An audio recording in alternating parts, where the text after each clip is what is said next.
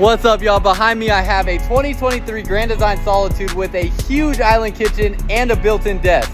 Let's go. This is a 2023 Grand Design Solitude 345 GKR. It has an LED light under the frame, outdoor speakers, and Cooper American-made H-rated tires. Nice big slide-out boxes with the MORryde pin box up front. Going inside, you have an absolutely massive island kitchen, recliners that lay almost all the way flat with storage up above them as well, a legless dinette table, and then you have a desk here in the back corner, great for an office setup.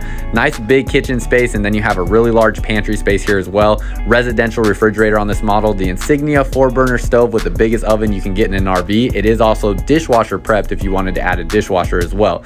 Sofa will pull out to make into a bed. You have a central vac and then going into the bathroom here, you have a really amazing looking shower in the Solitude, height for about 6'5 to 6'6 in that shower easily. And then plenty of storage in the bedroom. You have a pull out bench underneath the bed, wardrobe closets on both sides and washer dryer connections in the middle.